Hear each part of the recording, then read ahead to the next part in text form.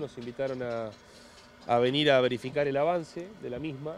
Eh, yo sabía que estaban eh, haciendo los primeros trabajos de movimiento de suelo y demás, este, quedé sorprendido porque veo que está avanzando de una manera muy rápida, más allá de que es una obra grande, compleja. Hace más de 10 años Playa Unión, fundamentalmente en épocas de verano, venía sufriendo desabastecimiento, eh, la cooperativa logró de alguna manera generar previsibilidad en la llegada de este vital recurso a través de cortes programados. Por el crecimiento de Rawson, primero que se extendió el verano, eh, marzo estuvo muy lindo, entonces el alto consumo se extendió un mes más, pero además, más allá de que se resiente el abastecimiento en verano, estamos sintiendo que también sucedió lo mismo en otros sectores. Si no este, logramos el financiamiento de esta obra, en muy pocos años íbamos a sufrir realmente un desabastecimiento alarmante en varios sectores de la ciudad, con lo cual esto es lo que necesitamos para crecer como ciudad, para la industria, este, no podemos pensar en, que, en, que, la ciudad se desarrolle si no tenemos los servicios vitales. Una obra de envergadura y de